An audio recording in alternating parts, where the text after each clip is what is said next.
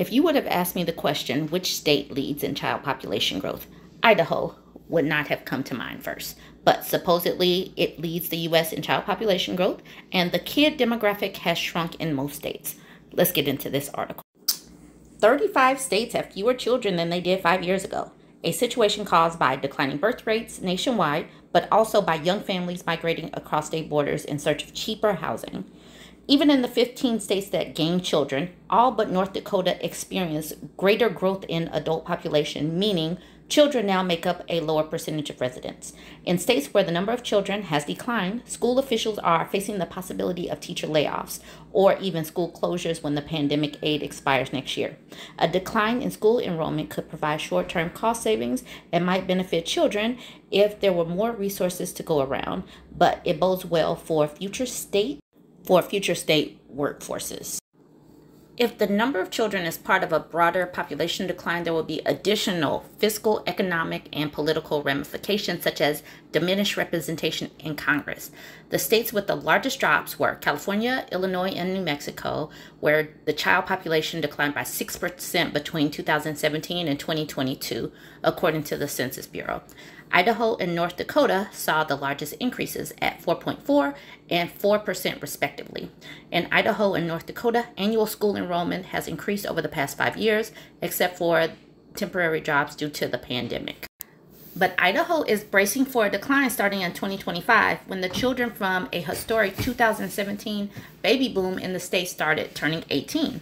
Idaho has become known as a picturesque and affordable place to raise children, says Jaap Vos, a planning professor at the University of Idaho in Boise. He relocated from Florida with his three year old son in 2012 um, when it was in the middle of nowhere.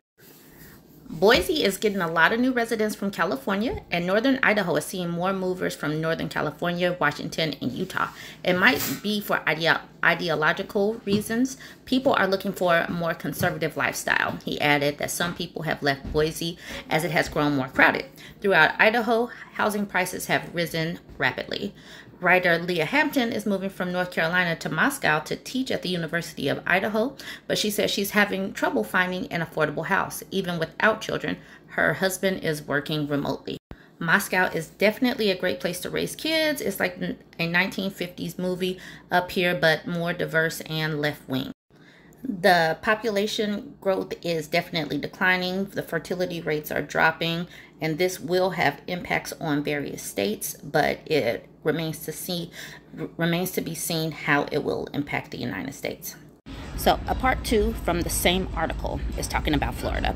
Another fast growing state with a meager growth in the number of children is Florida, where a decrease in births and an increase in deaths over the past five years has created a negative drag on overall population, according to census. The state had almost 25,000 more births than deaths in 2017, but there were 40,000 more deaths than births in 2022. That's a huge change. Still, Florida had the third highest increase in child population between 2017 and 2022 at 2%. One reason Hispanic births in Florida have continued to increase, unlike Western states. I wonder how that would change as they are running the Hispanics off.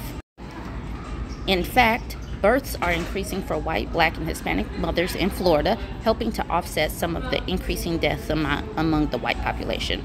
Unless births increase substantially because of the aging Florida's population, the state will likely see a natural decrease for the foreseeable future, with all growth coming from migration. So we shall see how that continues with Ron DeSantis and his um, and his bills because he has tons of bills, and these bills are kind of negative and pushing people out, not bringing people in. Y'all jump in the comments, tell me what you think, like, comment, share.